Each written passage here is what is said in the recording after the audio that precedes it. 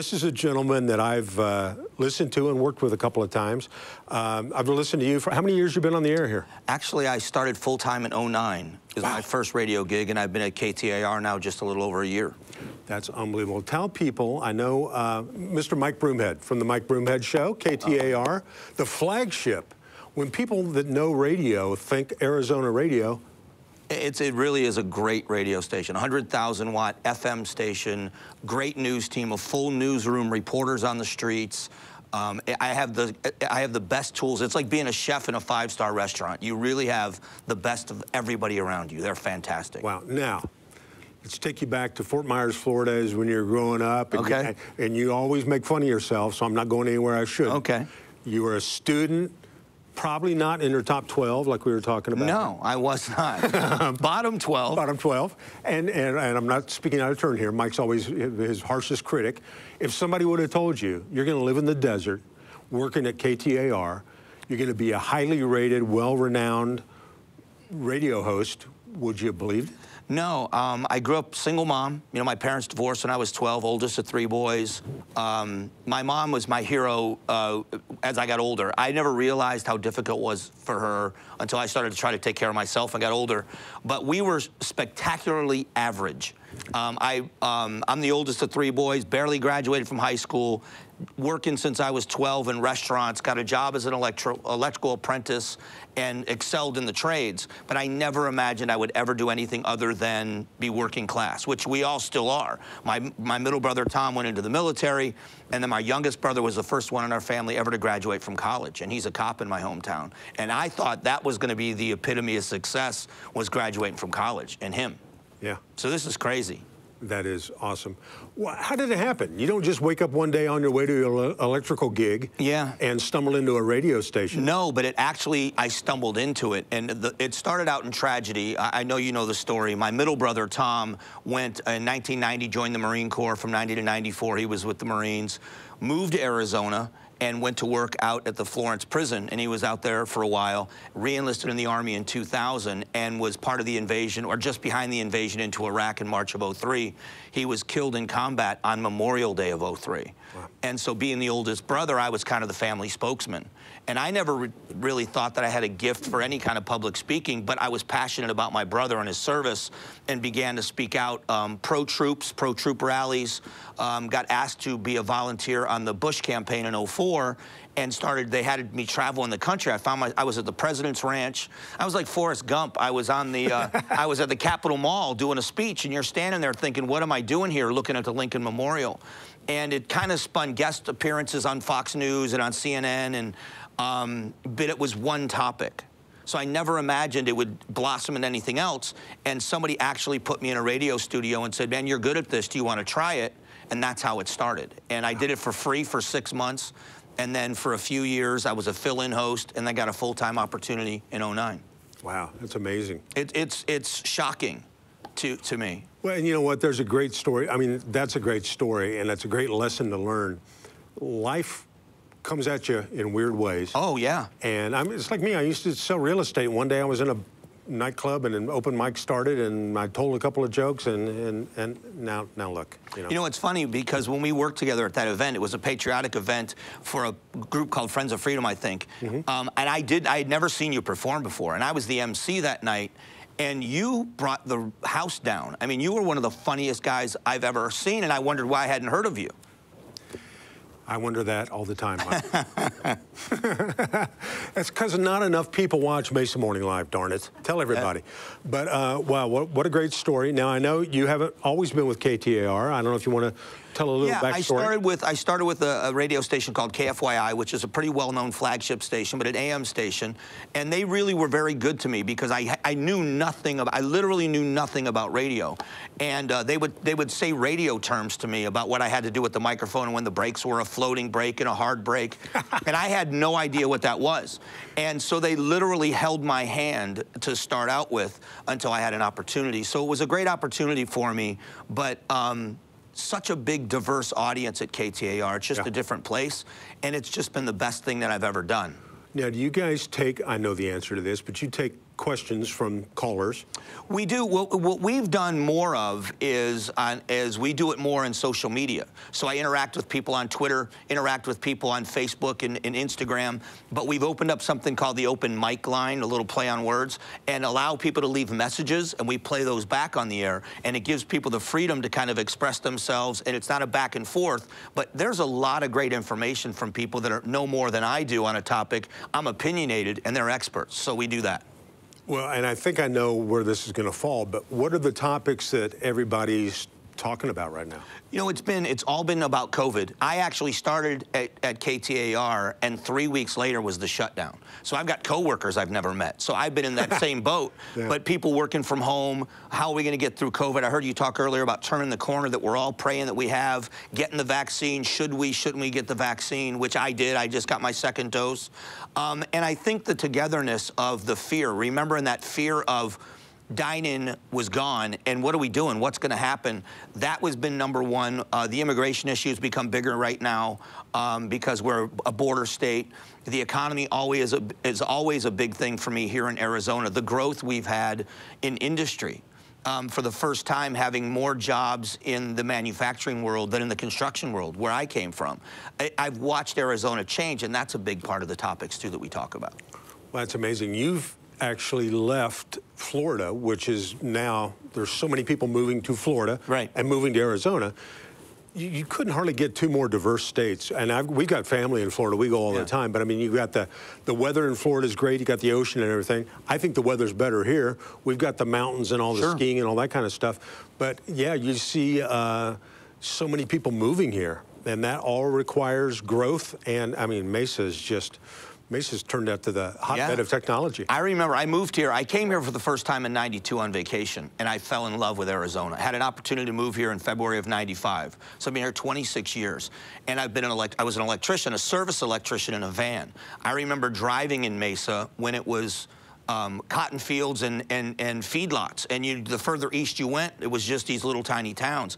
It's remarkable to drive through downtown Mesa and see how beautiful it is, and to go anywhere in this town and see how much it's grown. It's incredible. Well, you know, I come down here once a month, and it's it's it changes regularly. I mean, it's just the growth, and you see cranes, and you see, you know, there's how many how many colleges and universities do we have here now? There's just like. Well, you and I wouldn't know. Yeah, exactly. I, bartender college. I was valedictorian at bartender college, class of July. um, but no, it's uh, Mesa's just booming, and there's so many. It's a magnet. There's so many people moving here. But it's still, uh, no matter where you go, you see it still feels like a small town. The does. people here, I, I try to explain to people after the, if you remember the big fight on immigration years ago, the SB 1070 70 fight. So in the world I live in, there's this big political fight. And I would say to people, it's not like that here. People are very independent on all sides of the political aisle, but they make room for other people's opinions. So there isn't this big fight here. It really is a community. Whenever some tragedy strikes, uh, when the Yarnell Hill fire happened. Oh. I live, was living in North Phoenix at the time, and we went out to the freeway overpass way up in North Phoenix near Carefree Highway. It was packed. Every overpass was packed with people and American flags when Senator McCain passed away. This community comes together at the right times, and that's what I love about it. It is a major city across the valley, but it's turned, it's still that small town. We still love each other. I, I- you know, I don't want to say that too much because we don't want to get too full too fast, but it's a great place to live. Oh, I always tell people on the, you know, when I'm on the road, I tell people it's miserable here. Oh, we're almost out of water. I say, if you come, bring a canteen. That's exactly right. Yeah, it's Yeah, terrible. Oh, it's miserable. No food, no good food. Food's No, horrible. hot. Yeah, Yeah. it's- Scorpions everywhere. Yeah, in your everywhere. house. Yeah, yeah. I'm trying to keep the traffic down. Yeah. It ain't working, Mike. I know it's not. Well, cool. Well, tell. Yeah, I know you're a fan of Arizona. Tell us about um, if people aren't listening to you in the morning from eight to noon. By the way, that's four hours. That's a that's a long gig. You know, my mother tells the story to everybody that she spent the first three years of my life trying to teach me to talk and the rest of it trying to get me to shut up. And, and it hasn't worked yet. And no one in my family ever imagined I would get paid to speak. But I love it. It's just such a great, it's, I try to stay as local as I can because I love it here. And being local, it, you nationalize, and all the national stuff becomes local. But talking about the great people here, I'm a huge supporter of law enforcement. My younger brother's a law enforcement officer. With the tragedy in this trial that's going on in Minnesota, oh. and it's such a horrible thing to witness what happened to that man, to happen to George Floyd. But to be able to tell another side of the story with law enforcement and the people I know, um, and to talk about the great people that are here and how we've helped each other, the charitable organizations I've been able to be blessed to be a part of, that's the best part of what I get to do. Well, that's what I was going to ask you. I know you. Um, you know, I jokingly say eight to noon every day is a long day. Yeah. Your day doesn't stop at noon. You do a lot of evening events. Yeah, I do a lot of stuff because I just think, you know, you, uh, you know what it's like. Sooner or later, people are going to stop asking. Yeah. And so I try not to ever say no. And there are so many great organizations. We were talking about um, about uh, the United Food Bank, and recently I was went down there and toured the facility. It's such an amazing organization of humble people that are feeding hungry people all over the state of Arizona. And when you get to meet people like that that do that every day, that little bit that I do is nothing, and especially if I can shed light on that, the homeless problem and all the organizations that are working to help how bad it is to be homeless in Arizona in the middle of summer. Those organizations. So anytime I can lend a voice or just be part of that, the little bit I do is nothing, but it, it, it's the best part of what I get to do. You know, it is amazing. And this has been, uh, to say this has been a weird year is an yeah. under, understatement. But even through this economic turmoil that we're all still kind of fighting through, I'm speaking personally here, the, the amount of charitable contributions that people make, um, eh, you know, everybody, I get really offended when I hear people talk about hating the USA. We're the most benevolent uh, group of people on the planet. Sure. And even when we don't have what we're used to having or expect to have, we share a lot. And yeah. I know you do that too. Yeah, I was just down recently. Um, I was down at CASS, which is where that big homeless campus down in Phoenix. And I was down there with a group called Circle the City. A woman named Marty Hames took me around and showed me around. And they give out these packets to people, hygiene packets, and it includes a mask because of COVID. And for a long time, they have these rooms that the homeless people would go in to cool off. Well, they were closed because of COVID. You couldn't go inside. So you saw people laying in the shade. But the willingness for homeless people to want to share what they have with you. Yeah. And I think if somebody that's homeless wants to share something with you, that really describes more of who we are than anything else. And that's what I love about it is you're right. As, as afraid as people are, when there's a need, we were talking on the air with people that disagree with me politically one day, and I just I, I made a joke about donating uh, money to an organization. I think it was maybe St. Mary's Food Bank, and um, I had four or five people that on Twitter. I don't agree with anything you say, but this is great, and they all donated 100 bucks yeah. in the middle of this pandemic. It's amazing to see how willing people are to give if they find the worthwhile cause.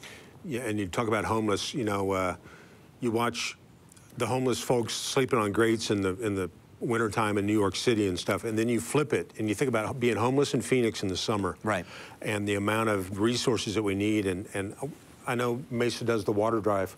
I keep referring to my, yeah. my answer. Yeah. June 1st is the water drive. How many bottles of water, how many, uh, what's the? The, the real goal is 400,000, the extended is five. 500,000 bottles of water. And, and, and they'll do it. Yeah. Because people will step up and uh, do what it takes. To go and watch people in Phoenix and think about the need for shoes. Oh. Because imagine walking on the pavement in Phoenix or in the valley, I say, say Phoenix, but in the valley without shoes. And then when someone hears of that need to show up and see a bin full of shoes because people had extra shoes in their house that they'll drop them off, when people in this valley recognize the need, yep. they always want to find a way to fill it. And that's what I love about it. That's awesome. So, uh, if I were to ask you, what, what's your crystal ball? What do you think? How do you think things are going to? This is an unfair question because okay. nobody knows. But uh, what do you see happening with uh, politically or with COVID or? Wow. Or, are you I mean, sure you want me to answer any of those questions? Yeah, we're, um, we're very. I think, I think what we are looking for, I've more than ever, we are looking for common ground. And so a solution to a problem that's not perfect for everyone is better than what we've been doing. So I think we're going to be more solution oriented. As far as COVID goes, I think it's taught us all to work together.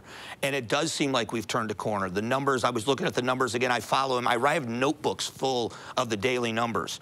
And we are in a much better place. Hospitalizations, um, ICU bed usage is all very, very low. There are still some cases, but as we vaccinate those younger people, that 20 to 44 year old age group that's in that demographic, when they get vaccinated, I think we're going to see case numbers drop.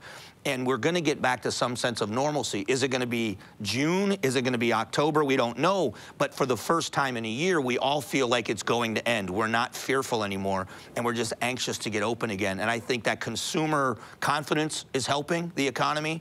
And I think when the economy is strong, I think the politics kind of goes by the wayside. And I'm hoping that's what happens. Well, the economy's rocking right now. The stock market was way up today. Everybody's enthusiastic. and the numbers that they're talking about with uh, the jobless numbers are way down, which is perfect. In the service industries, which were so hammered, the hospitality industry. Well, you know, I mean, you you can't work in front of crowds. You know, it, it it's all those numbers are starting to go in the right direction, and just hopefully that with all of that happening, we're going to start regaining some confidence. And in Arizona, they're saying that they believe most people, after the foreclosure, um, or the um, moratoriums end, that most people are going to be able to keep their homes. They've been able to have home values high enough to renegotiate. I think that builds a lot of confidence too, because you don't want to see people on the street that are homeowners. Yeah. So I think it's more good news than bad news, and people are looking for that right now. Well, I know you're bullish on Arizona, as am I. Yeah. I, I think nobody appreciates Arizona as much as people that didn't grow up here. Right. But we come here and go, wow, it's just the most beautiful place. There are people watching this online from all around the country. Why should they move to Arizona? Oh, um, we jokingly yeah, say we don't want them yeah. to. Um, I would say the diversity of the of what we have to offer. You can be in the desert in the wintertime in shorts and literally play golf, drive an hour and a half north and build a snowman with your kids. And then come back down the hill. We have uh, entry level housing as much as the housing market's going crazy, but we have these beautiful Paradise Valley and mansions, and parts of Mesa and the East Valley are so beautiful. Golf courses, we have everything to offer indoors and outdoors for people. But most of all, I think it's the people. I, I, there's something about when you move here, there's just an independence of kind of self reliance, but at the same time, your neighbor is always willing to pitch in. My next door neighbor grew up in the neighborhood I bought a house in recently, and they are just the nicest young couple. He cut my grass for me the other day. I didn't ask him to. I looked on my camera and I was at work, and I said, What's going on? My neighbor was cutting my lawn. That- That's the kind of people here. Well, it's either it either speaks to his character or your lack of Uh, landscape. yeah, he was probably sick of looking at my grass. exactly. Well, uh, I appreciate you coming in, Mike. And uh, this guy's too modest to say this, but trust me, I'm. Uh, we kind of have similar friends in, in different aspects of charitable work, and this guy's busy all the time, volunteering for things, law enforcement, military. Yeah. Uh, they've got a friend of Mike Broomhead. Um, you started off here. Uh, Electrical, uh, as Yeah, an electrician. electrician, yeah. Then you went to KFYI. Now Yep. you're at KTAR. Yep. You, you've got the you got the lingo down. I see you as a future governor of Arizona. Oh, That just sent shockwaves through anybody who really knows me. Um, I'm not running for political office because they do background checks. I know. Just like you're talking about. Oh, it'd be ugly, wouldn't it? When I talk about skeletons in my closet, pretty recent skeletons in my closet. but no, I love it. I, I feel like I could be more of an influence in what I do now. Yep. And there are so many other people that would be capable of. I've asked about, been asked about running for office. There's too many other people that are good at it and capable of it. And I'm not joking. I just, I love what I do. I mean, who would want to give up my gig right now? Plus, you're right. You can do more by being on the air and, and interviewing those kind of people. Sure. be great for, for uh, Absolutely. Arizona. Anything else you'd like to share before I turn you loose? I don't, can't think what of What time any- you go to bed at night if you get up super early? I'm horrible because I'm I'm both a night owl and a morning person. So I get grumpy on Thursdays. This is the happiest I've been on a Thursday in a long time. I go to bed at about 10 or 10:30 and I'm up at 5. yeah. So, you know, I'm I'm all right. So we got Mesa Morning Live, April. We got Happy Mike Broomhead. I don't know what else should people want. This is this is as good as it and this is as happy as I get too, by the way. That's awesome.